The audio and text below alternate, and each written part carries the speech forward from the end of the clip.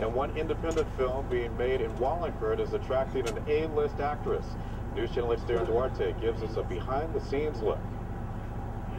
She plays Alex Rousseau on the hit series Lost, but these days Tania Raymonde is working in Connecticut, starring in the independent thriller The Other Side of the Tracks. I play Amelia, who is this mysterious um, young woman. And she's working with director Alex Calvo, who's shooting in his hometown of Wallingford. I wrote a story um, with Connecticut locations in mind, and um, it's a New England ghost story.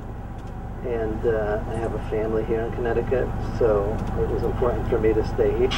This is a big break for Calvo. It's his first feature film. It really feels good. Feels good, it feels natural. Calvo picked a good time to direct his first film in his home state. The tax credit for producing here helps his small budget bring in huge Hollywood talent. That tax credit amounts to a 30% break on production costs, and it's bringing more and more Hollywood film crews to the state. It's been really amazing to see how a script can uh, help convince executive producers, uh, Hollywood actors and actresses to get involved in something.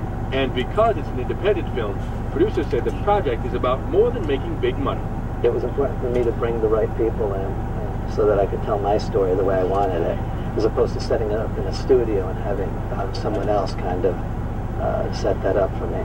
And this filmmaker wants all of his story shot right here at home in Wallingford. Darren Duarte.